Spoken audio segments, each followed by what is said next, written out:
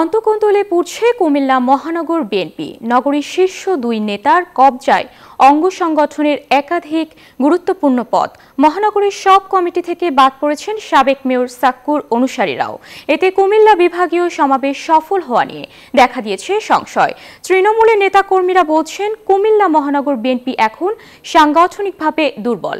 হুমায়ুন কবির জীবনের প্রতিবেদন জানাচ্ছেন আরফিন শাকেল।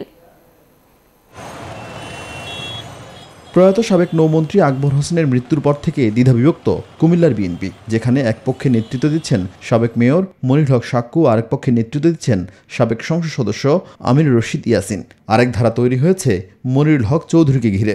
তাদের রেশারেশির কারণে সিটি কর্পোরেশন হওয়ার প্রায় দশ বছর পর চলতি বছরের মে মাসে মহানগর বিএনপির কমিটি ঘোষণা হয়।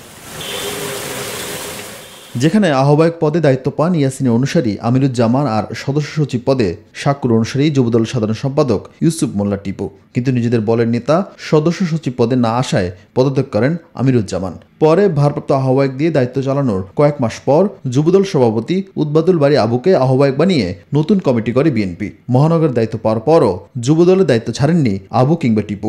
কেন্দ্রীয় সেক্রেটারির সাথে যোগাযোগ করাতে ভারপ্রাপ্ত তারা বলছে যে ভারপ্রাপ্ত দরকার নেই তোমরা আহ্বায়ক কমিটি জমা দাও। কোনো বিভেদ নেই আমরা এখন বিএনপি এখন ঐক্যবদ্ধ। বিএনপির প্রত্যেকটি অঙ্গ সংগঠন এখন ঐক্যবদ্ধ। সিনিয়রদের পাশ কাটিয়ে দায়িত্ব পাওয়া জুনিয়র নেতাদের এমন কাণ্ডে বিব্রত কুমিল্লা মহানগরের বিএনপির নেতাকর্মীরা। তবে দায়িত্বপ্রাপ্ত নেতারা বলছেন কেন্দ্রের কথা। যেই পর্যায়ে বিএনপির নেতৃত্ব এসেছে সেই পর্যায়ে নেতৃত্ব আসার কথা না কারণ অনেক সিনিয়র যারা তারা দল থেকে আজকে নিষ্ক্রিয় হয়ে আছে। আমরা চাই ঐক্যবদ্ধ বিএনপি বিএনপি একসাথে হয়ে কাজ করুক। পদ পদবীর বিষয়টা এটা সম্পূর্ণ আমাদের দলের সিদ্ধান্তের বিষয়। এটা কোনো ব্যক্তির সিদ্ধান্ত না। মহানগর বিএনপি ঘিরে এমন স্থবিরতা অস্থিরতা বাড়াচ্ছে আসন্ন কুমিল্লা বিভাগীয় সমাবেশ ঘিরে। সিনিয়র হিসেবে কিন্তু দলটা সাধারণ চেষ্টা করছিলাম।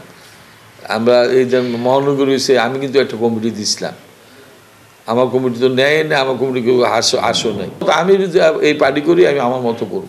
যারা আমার অনুসারী তারা আমার আমার কথা শুনব।